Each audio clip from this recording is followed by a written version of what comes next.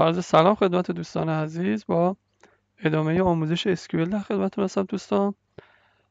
ما جلسه قبل در رابطه با دیفالت صحبت کردیم بچه ها این جلسه می‌خوام صحبت خودمون ادامه بدیم در رابطه با چک صحبت کنیم.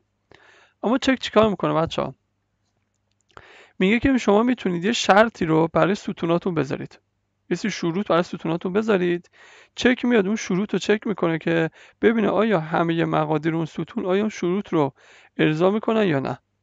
به عنوان مثال تو همین مثال خود کتابی که ما داریم بچه ها فرض کنید من میام یه دونه شرط می‌ذارم برای پیجز میام میگم که اگر تعداد میگم که تعداد صفحات یک کتاب نباید صفر یا کمتر از صفر باشه. معنی نداره دیگه. شما شما کتاب بگید من کتاب دارم منفی دو صفحه داره. مگه میشه؟ پس می‌تونم یه شرط اینجا بزنم برای این ستون. بگم که این ستون نباید مقادیرش کوچکتر از صفر باشه. خب حالا بریم شرط رو بذاریم. اول خب طبیعتا ما چیکار کنیم؟ بچه‌ها باید جدولمون رو update کنیم. خب جدول رو بحث اصلاح بکنیم. میام چیکار می‌کنم دستورشو می نویسم ALTER TABLE اسم جدولم. یه ADD میام می‌خوام یه چک اضافه کنم. چه چکی؟ می‌خوام بگم که pages بزرگتر از صفر. خب اینو run می‌کنم. خب خطایی نداد. اینو برمیدارم خب حالا می‌خوام برم چکش کنم بچه ها هم می‌تونم یک کتاب جدید اضافه کنم هم می‌تونم یک کتاب موجود update کنم. هیچ فرقی نمی‌کنه. تو ویدیو قبلی کتاب اضافه کردیم اینجا update می‌کنیم.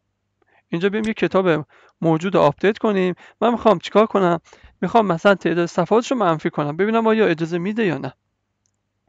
خب میام دستور رو می‌نویسم بچه دستور طبیعتا update UPDATE اسم جدول کلمه ست اون چیزی که می‌خوام عوض کنیم مثلا میگم که اینو من بخوام بکنم منفی 15 برای کدوم ردیف؟ اونجایی که اسم کتابم برابر است با مثلا بذارید دست ببینم چی بذاریم. مثلا اون کتاب آخر که گذاشتم مثلا بیکام.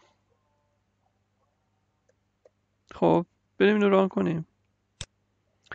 خب آها خطا رو داد بچه نیا کنید خطا رو. کجا رفت؟ خب این اینجاست. این خطا رو بخونده چون نوشته که چک کانستلنت بوک CHK one is violated. میگه آقا جان این constraint خب رعایت نشده. okay. پس الان بچه ما یکی از اون constraint هم رعایت نشده. به خاطر اجازه نمیده که در حقیقت این جدول من اسم کتاب یکی از کتابشو بکنم منفی. بریم ببینیم constraint همون بچه دیگه describe books. کنید. خب ببین اصلا اینجا نشون میده یا نه. کدوم بود؟ این بود. اصلا اینجا نشونش نمیده. نال که هیچی دیفالت هم هیچی اکس هیچی اینجا نشونش نمیده به ما خیلی خوشکار نداره پس بچه الان ما چیکار کردیم اومدیم یه دونه ستون مشخص کردیم بذار من یه کار دیگه هم بکنم بیام یه کتاب جدیدم اضافه کنم ببینم به اونم ایراد می‌گیره یا نه خب این دستش رو می نویسم insert into a box. خب اسم ستون ها مشخص کنم name بعد چی دیگه؟ چی داشتیم بچه ها نیم داشتیم. نویسنده داشتیم و فرمت داشتیم. بذار فرمت هم خودش مشخص کنه. ولش کنید می‌خوام ما تست بکنیم. خب. میام میگم که ای بابا چه فارسی میشه؟ values مقدار میدم. خب. نیمو میدم مثلا چی بدیم نیمو بچه ها؟ مثلا بدیم چیزم زلکی اسم کتاب خارجی. مثلا بدیم پوتیتو.